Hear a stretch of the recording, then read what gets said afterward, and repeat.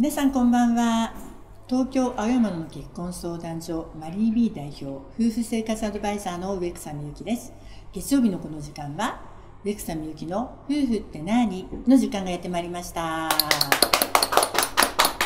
いこの番組では全国のリスナーの皆さんからいただいた夫婦生活のアドバイスですね、はい、えーたくさんご質問いただいておりますのでその辺をバシバシ回答していきたいと思います。そして、えーアシスタントは木月理恵さんです。こんばんは。よろしくお願いいたします。はい。よろしくお願いします、はい。今日もお便り寄せられておりますので、はい。ご紹介いたします。いはい。つもね、たくさんのお便りありがとうござはい。いあます。りがとうございます。はい、ラジオネーム、ハッピーさんから。ハッピーさんハッピーさん。どうぞ女性の方ですね。はいはい、植草先生、こんばんは。毎回 YouTube で番組拝見しています。はい私はマリーミーの卒業生です。ふん東京に住んでおりました。はい夫は外資系企業のうん SE です。うんマリーミーを卒業し、うん半年後にハワイで挙式を挙げました。はい現在入籍をして2週間になります。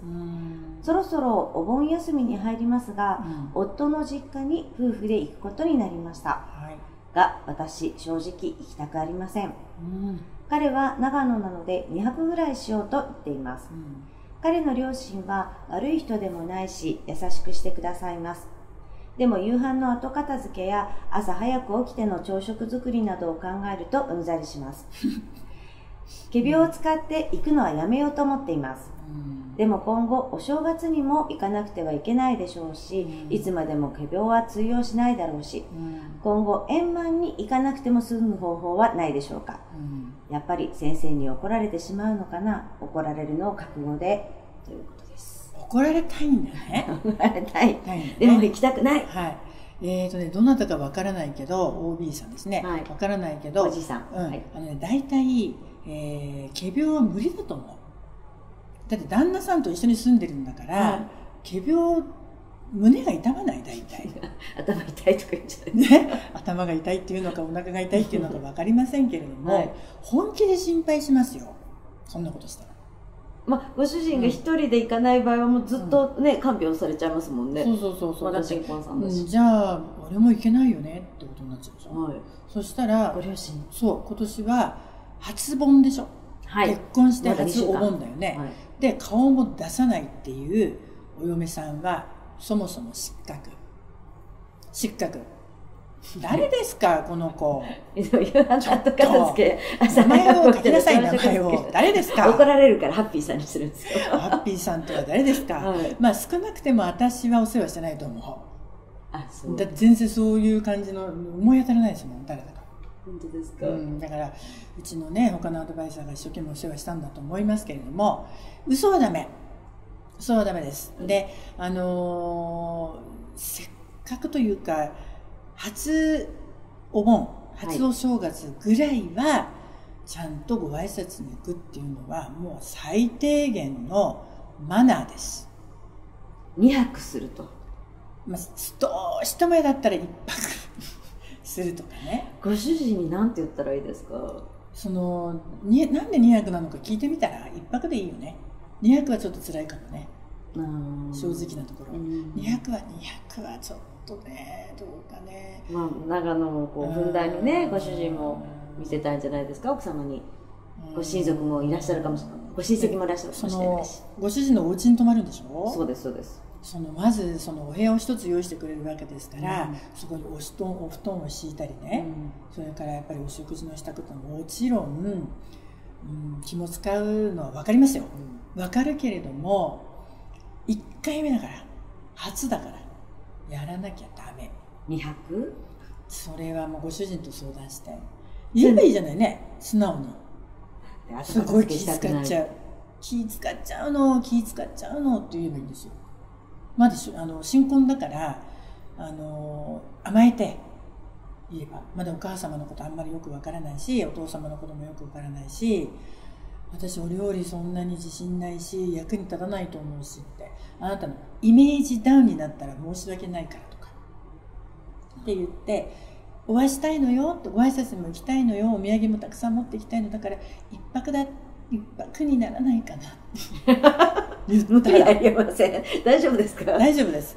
1泊と2泊は相当違う。確かにそうですね。1泊と2泊でももう行かないっていう選っ択もしてるわけていうかさですよね行かないって誰だ本当に？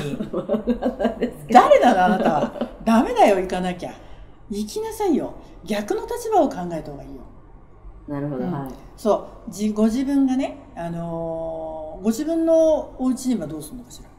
一緒に行くのかしら。どうなんでしょうね、うん。あでもどうなんでしょうね、じゃあはい。自分が逆に、あのー男性でね多分彼女って東京なんでしょあのお実家が。そうでだかしょうね。ら帰る帰らないとか日帰りの話になると思うんですね。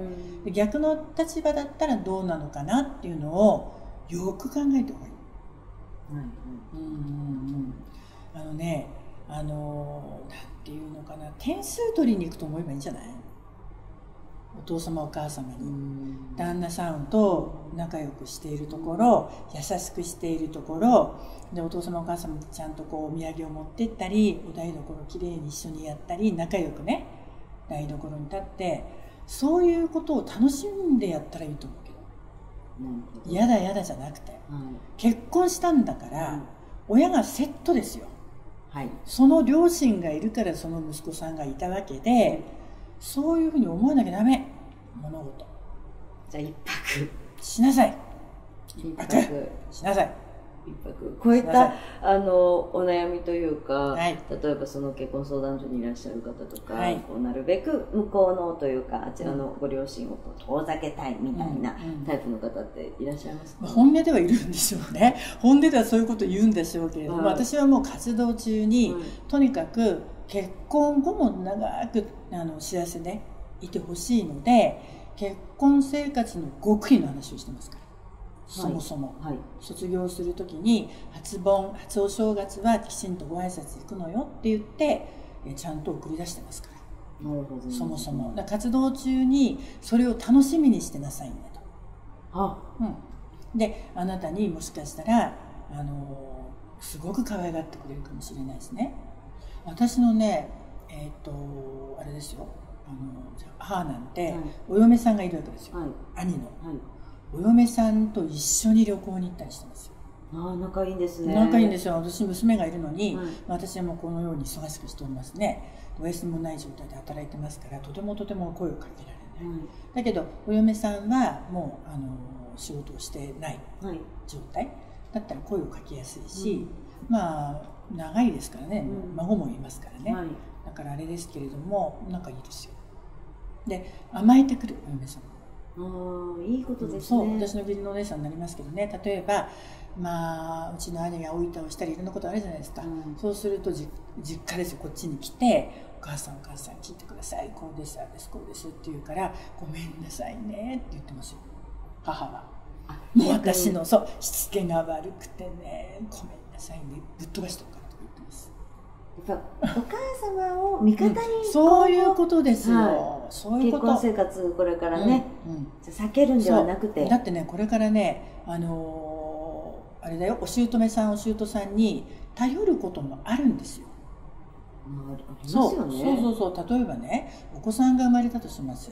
でお子さん生まれたらまず飛んで会いに来るよね、でお祝いだって持ってくるよはい。うん。はい。その10万単位で持ってくる人いるよ、はい。100万単位の人もいるよ、はい。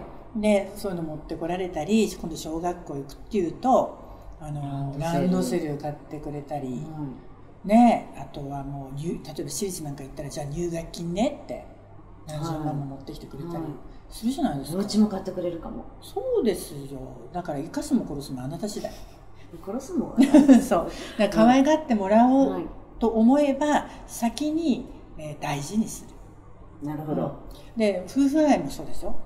ご主人に愛されたい。ご主人に可愛がってもらおうと思うんだったら自分が先に愛して自分が先に旦那さんを大事に可愛がる。そしたらそれが返ってくる。これを先にお姑さんとお姑さんにやってください。それが先ほどの点数を取りにうん。いけっていうのそうはそうそうそういうこといったことそういうこと、うん。だからもう旦那さんとねえねえ長野だよね。何のお土産がいいかなっていう二人でデパート行ってるんですよあお母さん何が好きかなとかそうそうデパートでで5時間も6時間もずーっとやってたら旦那さん悲鳴あげるから そうでしょうね。そう。で、2日も泊まるんだよね。2日だよねって、これも持ってって、あれも持ってって荷物こんなになっちゃって。だって2日だもん、2日だもんってずっと言ってればいいんじゃない？200あるからね。そう。これも持ってくる。だって化粧品だってこのぐらいの量がないと足らないもんとか。あ、もうデパート行って、うんその、もう旅行いろいろに行くのかいろいろもう。そしたらもう旦那さんも懲りて、日帰りにするとか、長野だって、日帰りしようと思えばできますからね。そうですね。うん。できなくないよね、若参りってね。はうんそういうふうになりますよ。なるなる。それよりも、親御さんを大事にする。で、親御さんも味方につける。いうん夫婦でね、結婚生活何があるかわからないんです。で、そういう時に、おしお姑さんとお姑さんと仲良くしていたら、可愛がってくれるわけでしょ？で何かあった時にご相談に乗ってもらうぐらいの関係がいいですよ。はいはい。そうですね。そう。先ほどね。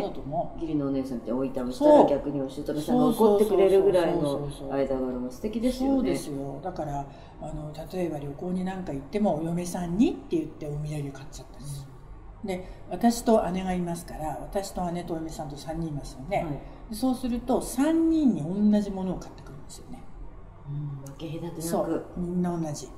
シャネルのバッグだったら3つシャネルのバッグ、ね、みんな同じ。フェラゴマだったら同じものを同じものをプレゼントする。うん。あのアラブのあの一夫多妻の奥さんと一緒。一夫多妻でしょ？はい。アラブ、はい。でお面白いんですよ。私ねあの行ったことあるんだけどえっと白いのこの着てるでしょ、はい。はい。民族衣装、はい。でお嫁さんたちが黒だよね。黒いの着てて。あんま肌出したりとかそうそうそうそう、顔も全部隠してて、三人ずらっと歩いてるわけ。で、エルメスに行って、エルメスの同じバーキンを3個買ってたの。これだと、喧嘩にならないですもんね。そう。もうあ同じものなんで。の差別しないの。みんな平等。うん。本妻さんも2号さんも3号さんもみんな同じ、ね、でそういう気持ちにあちらの親御さんがなるぐらいの感じがいいんじゃないの？本当に、まあ、家族の一員というか、本当の意味で。すよそうですよ。下手したらお嫁さんの方が大事にするぐらいでいいんじゃない？じゃあもうご主人に3泊しようぐらい行ったらいいんじゃないですか？ね。もっといあろんなれ私先に行ってるわ。ね。私先に行ってお母さんのお手伝ごいしてるから。準備しとく、準備しとくから。後から来たら。うん。それもいいかもね、うん。それがいいですね。そうしてもらいましょう。試練だと思って。試練。帰らないぐらいでね。うもうんそれがいいよ、うん、先にでそうねそうそう。でなんだったらお母さんに何か買ってもらっちゃうとか。ね。デパート行って。欲。しいものがあるのお母さん欲しいものがあるのでもね出身でねって。最初からやっちゃって大丈夫ですか？まだ入籍2まあそして23週間です。年目で。あ、2、3年目で。うん、あのね孫にはいろいろねやってくれますから、はい。孫の時におじいちゃんおばあちゃまがいろいろやってくれる。嫁にはやってくれなくても孫にはなるほど、なるほど。ランドセルとかね。そうです。よだってほら子供さんがね今度小学校中学校高校大学って行く時につどつどつどつどお金かかるでしょ、はい。でそういう時に学費の問題でうわ我慢させなきゃみたいになった時には頼れるじゃない今のうちからでね。しょ？それを毛嫌いしてちゃあなたダメよ毛嫌いしちゃ確かダメに。いいことない。ないそうしましょうはい。結論出ましたねね。ピーさんぜひ、はい3泊ぐらいで。はい名を名乗れ誰かの そうですね。はいはい。お願いします。はい。植草さんはいは夫婦生活アドバイザーとか、はあと結婚相談所もされてらっしゃるということで、いろんなね、ところにコラムを書いてらっしゃるんですね。すはい。オールアバウトや、ウィズオンライン、そして日経ウーマンなどでコラムも書いて日経ウーマン9月から始まりますはい。ぜひチェックしてみてください。そして毎週水曜日、日刊現代の夕刊でも記事を書いていらっしゃるということで。これはね、面白いですよ社会現象を背景にして、えー婚活事件簿先ほどちょっと見たんですが、うんうん。3人に1人は鼻毛がどうのこうの書いてありましたけど、あれなんですか？あのね、はい。お見合いに行きました、はい女性が言うんです。女性が。3人に1人の女性。3人に1人の女性がお見合い相手どうだった？って聞いたらお返事どうする？って言うと鼻毛が束で出てました。っていうのが3人に1人、それは、植草さん的にどういうふうにおっしゃるんですか？我慢しなさい抜きなさいっておっしゃる、あのねまた鼻毛かみんなそうだよって。だってほら女性とこの距離で会ってないでしょ男性たちも。そうですねねね。恋人がいるんだったらもう結婚してるんだから、だからしょうがないんだよって。あなたが結婚したら毎朝毎朝チェックしてアマゾンで鼻毛カッターを買って渡せと。結婚したら。らね。3人に1人。あのねでも実際に3人に1人じゃなくて3人に2人は鼻毛棒です本当ですか、はい。これね30そこそこでもそうですよ。事件ですね本当にね、本当にだってしょうがないよね。朝起きました。大急ぎで起きて顔を洗って男性って知ってます？顔洗うの両手で洗わないんですよ。片手で洗ってる人いっぱいいるんですから。そうなんですか？そうなんだからうちの会員さんからみんな情報入るの。結婚した後。その相談何個か来ましたやっぱ両手で洗った方がいいですか？片手で洗う。そのぐらいいいだろうみたいに言ってますけどね。片手で洗ってるんだったら片手空いてるから歯ブラシしながらでも洗えるじゃないみたいな言ってますけど、はい。要はあのーずっと女性とあんまりお付き合いしてないからラッキーだと思えばいいんですよ。だから、そうん。着飾ってない。男性も着飾ってないから女気がないんだ。ラッキーだなーって思ってればいい。なるほど自分色にね。そう。いいようにいいように物事を解釈した方がいいですよ、そういった面白いことが日刊現代、うん、書いてます日刊現代そしていろんなところでコラムもそういったようなことをいっぱい書いてらっしゃるんですが書いております、はい、ぜひ面白いです。オールアバウトウィズオンライン、えー、日経馬は今後9月から始まるんですかね、はい、はい、あと日刊現代の水曜日の夕刊チェックしてみてください。さあこの番組ではご意見ご感想をお待ちしております、はい info.792fm.com もしくはマリミーのホームページまでぜひご質問そしてご意見などお寄せください。はいまだまだ暑い日が続くようですので、えー、皆さん熱中症には気をつけてください。えっ、ー、とですね、涼しいオフィスにいても水分がどんどん出ていくので、積極的にお水をたくさん飲んでくださいね。はい。それから夜寝る前のコップ一杯のお水とっても大事だそうです。なんか全員集合みたいじゃないですか。そう、もうね、熱中症だけ本当に気をつけて はい。はい。はい。ということで、えーお相手は植草みゆきでした。それでは皆さん来週のこの時間をお楽しみにごきげんよう。さようなさようなら。